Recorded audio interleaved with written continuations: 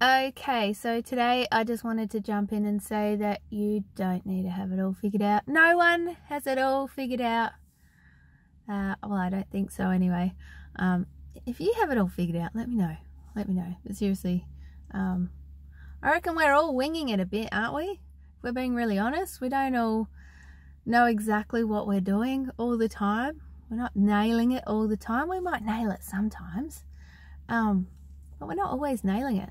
I guess I just wanted to come in and say that today because sometimes I think, and I know that I do this, is put pressure on myself, and maybe you do it too, just to think, I was going to swear that, gotta have it all figured out, you know? Did anyway. Um, but you can't. You can't have it all figured out. You have to let go and allow. You just have to allow and trust the process. And sometimes that can be really frustrating, you know, because sometimes you just, you know, you you can feel and you know inside of you that you're supposed to be doing this thing or something or other, um, but you're not quite on the path yet, or maybe you think you're not on the path, you don't realize that it's actually guiding you to where you need to go.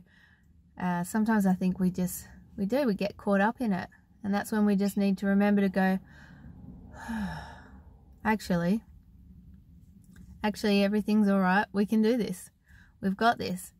Um, yeah, so if you're feeling like that today, just know, I mean, really, who has it all figured out? I mean, this we live in this ginormous universe of freaking infinite infinity.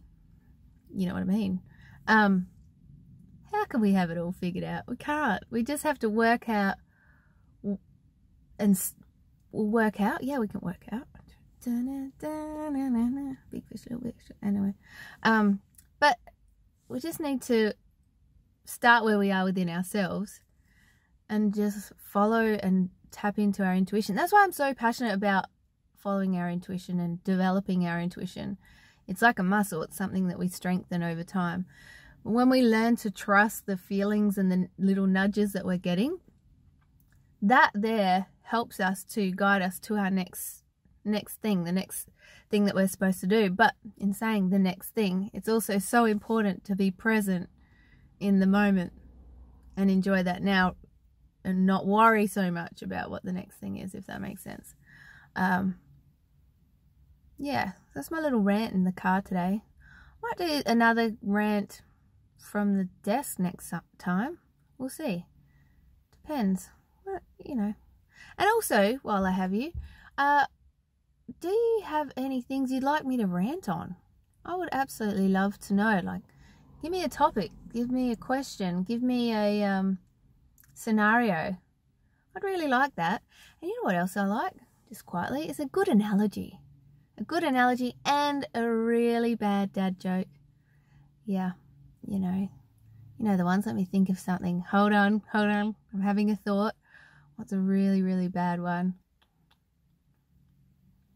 Why couldn't Tommy swing on the swing? He was a fish. He was a fish. Tommy was a fish. See, they're really bad. It's still funny. There's so many more, but I'll save them. I'll save I'll save them from you. You'll be okay. anyway, um, what else we got? I think that's about it. So, aside from that, it's time to go. It's time to go, Nereeda. Bye.